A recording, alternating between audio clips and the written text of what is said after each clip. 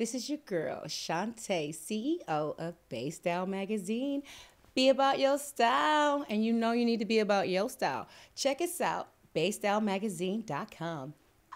Get styling.